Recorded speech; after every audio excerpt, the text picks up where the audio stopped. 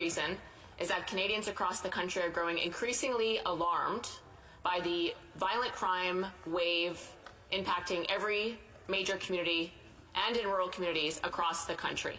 Canadians are waking up every day to headlines of violent crime.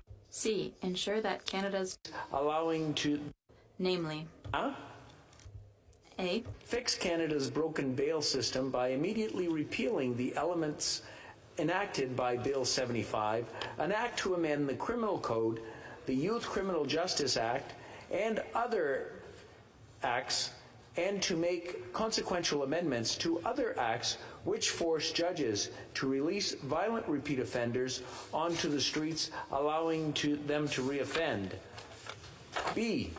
Strengthen Canada's bail laws so that those who are prohibited from pro- possessing firearms and who are then accused of serious firearms offense do not easily get bail. And C. C. Ensure that Canada's justice system puts the rights of law abiding Canadians ahead of the rights of violent repeat offenders. The Honourable Member for Kildonan St. Paul. Thank you, Mr. Speaker. I'll be splitting my time with the member from Fundy Royal. Mr. Speaker, there's two reasons that we're here today talking about bail reform and violent crime. The first reason is that Canadians across the country are growing increasingly alarmed by the violent crime wave impacting every major community and in rural communities across the country. Canadians are waking up every day to headlines of violent crime, police officers being murdered, people being murdered on public transit, every single day. So that's why we're here. We hear their concerns and we're here to represent them and demand change. The second reason we're here today, Mr. Speaker, is to demand change from this Liberal government who has done absolutely nothing to address the violent crime surge in this country. They've taken no responsibility. They've made no commitments to Canadians that they're taking it seriously, that they'll do anything about it. They've brought forward no new ideas of how to address the need for immediate bail reform in this country, to address the violent crime surge in this country, to address the repeat violent offenders that are being caught and released by police over and over and over again and wreaking havoc on our communities on a daily basis. So that's why we're here today to talk about bail reform and crime for our Conservative Opposition Day motion, which you just outlined. And what I would say to Canadians is it's not just in their heads that violent crime is going up. It is going up. In fact, 32% in the last eight years under this Liberal Prime Minister. 32%. And more than that, gang murders have almost doubled. They've gone up 92% in the eight years that this Liberal Prime Minister has been at the helm. We've also seen, as I mentioned earlier, police officers are being murdered on the job, five in the last number of months, particularly over the holidays. We saw a young new constable in the Ontario Police, Greg Pierzchala, who was murdered by a violent repeat offender who was out on bail. He was shot and murdered by that man. That man also had a weapons prohibition order. He was deemed too dangerous to, to possess a firearm by our law system and he has a long he had a long rap sheet of harming people in his community. This is a repeat violent offender, let out on bail, and then he murdered an innocent police officer, a young police officer, over the holidays, Mr. Speaker. And that story, unfortunately, is becoming less and less unique in this country. And it's not just in Toronto. And of course, folks from Toronto will know better than I that public transit is becoming less and less safe. In fact, increasingly so, women are concerned about riding the subway because people are being murdered. There's teenagers swarming people and stabbing them to death. People are being lit on fire. People are being assaulted and pushed to the ground. We just saw a CBC reporter assaulted and died four days earlier. An elderly woman, same thing in Toronto, just walking down the street, minding their own business, murdered. In Vancouver, Mr. Speaker, to speak nothing for the serious drug issues that that, that, that community is facing people face down in the street overdosing. It's horrible. I think everyone agrees we need immediate action on that. We're also seeing terror inflicted on that community and on the most vulnerable communities and Vancouver at large by a very small group of people. In fact, last year, 40 people were responsible for being arrested 6,000 times. 40 people arrested 6,000 times. That's each of those 40 people being arrested 150 times in one calendar year. That's every two or three days, or sometimes multiple times a day. You talk to police, they say sometimes we're arresting the same person committing violent acts twice in one day. 40 people arrested 6,000. I just thought that was so astounding, that's why I keep repeating it.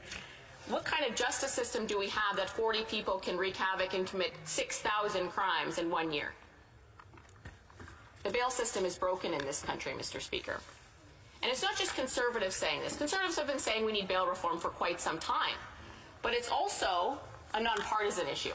It's also every single premier in Canada, all three premiers of the territories and all 10 premiers of the provinces, representing conservative, NDP, liberal premiers. Nonpartisan issue.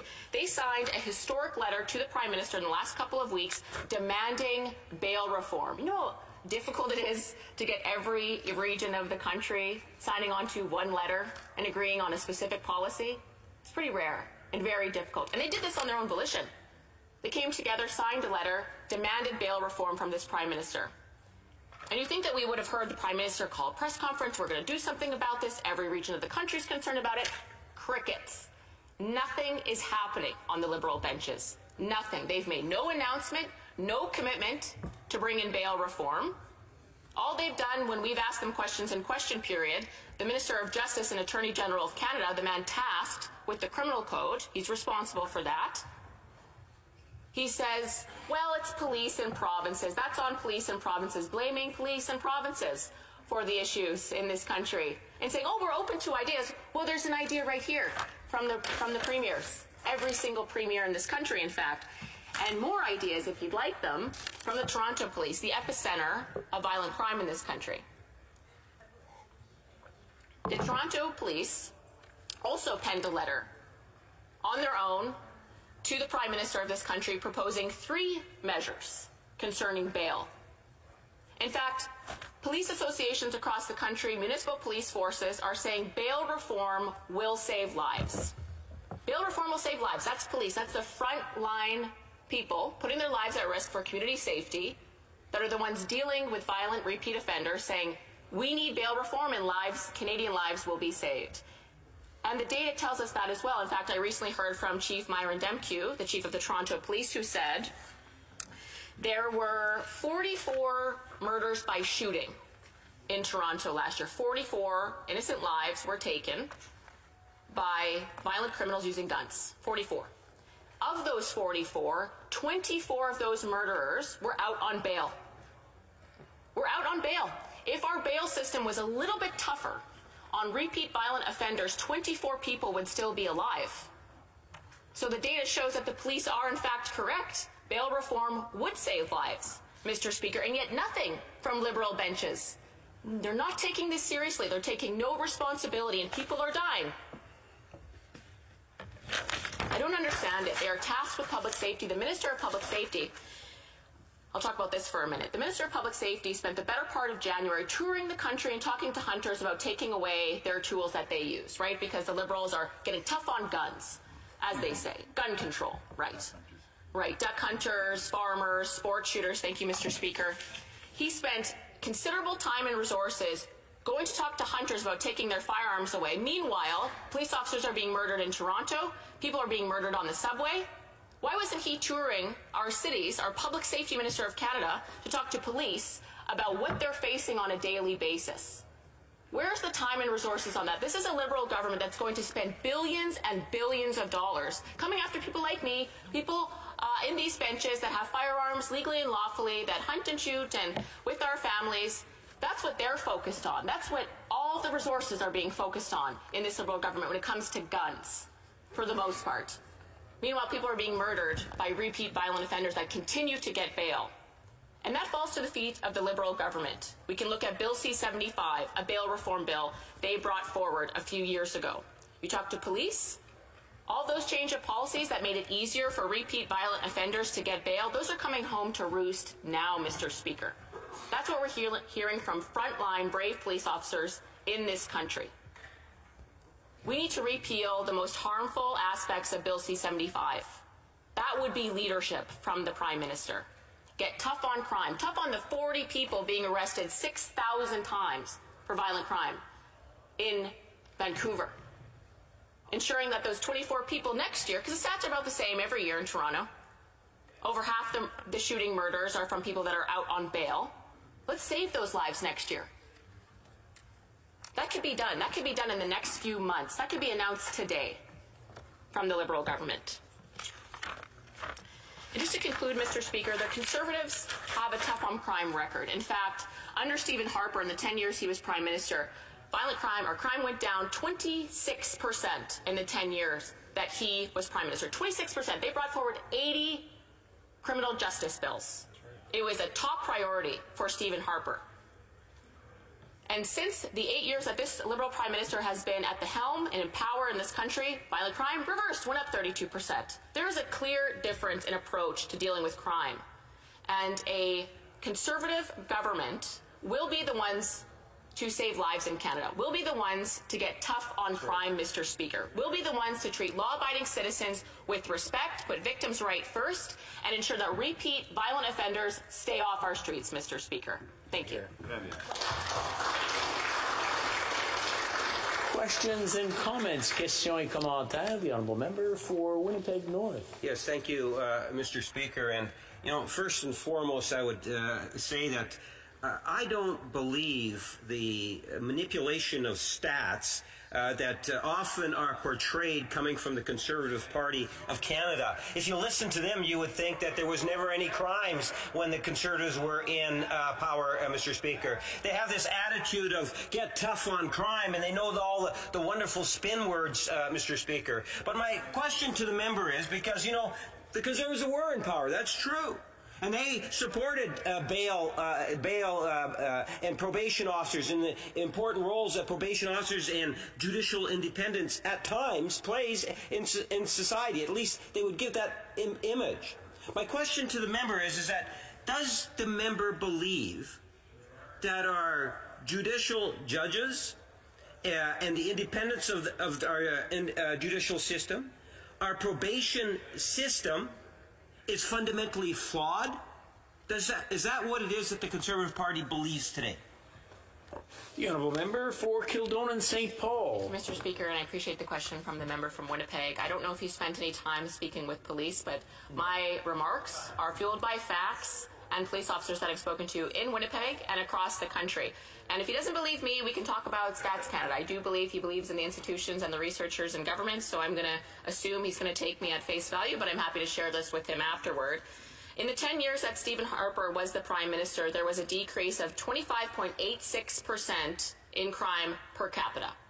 26% decrease, that's statistical fact. In those same stats, you can see a 32% increase in violent crime since his leader has been Prime Minister. So those are the facts, Mr. Speaker. And I don't think the women who are concerned about riding public transit in Toronto, I don't think it's all in their head. I mean, perhaps he does. No. But the stats show they are more at risk today yeah. than eight years ago before this Liberal Prime Minister brought in all of his soft on crime policies and ensured that violent repeat offenders were let out on bail in our communities, yeah. Mr. Speaker. And we will stand up for them, unlike the Questions and comments? Questions et commentaires. L'honorable député de Rivière-des the Honourable Member from Rivière-des-Mille. Thank you very much, Mr. Speaker. You know, I studied criminology, and the discussion that we had at the time would be okay, should we be for or against bail? Uh, should we be tightening the laws, etc.? But the deeper we went into the criminology program, the more we started understanding that we had to rely on science and serious data. And at the end of the studies, we understood that the really tough on crime approach that the conservatives promote really doesn't lead to good results. Look at the US. The US is the country that has the strictest and most coercive tough on crime uh, agenda that exists, and they have a huge incarceration rate they try to keep people in jail as long as possible. And coincidentally, the US also has an, a very high and increasing rate of crime. So I'm wondering what is my colleague basing herself on? What, what are the conservatives basing themselves on to when they argue that uh, tightening the rules against crime would lead to less violent crime? St. Two Paul. points. Uh, the member said a factually incorrect statement. Under Stephen Harper at the time, the days spent in prison from your average uh, uh, individual in prison went from 126 days to 105 days. So he's factually incorrect on that part. And I am disappointed in the Bloc Québécois, actually, because in Quebec, a woman was violently raped. She fought her rapist. Violently raped by a man. Do you want to know how many days in prison that rapist got for violently raping that woman? Because of Bill C5 from this Liberal government? Zero days.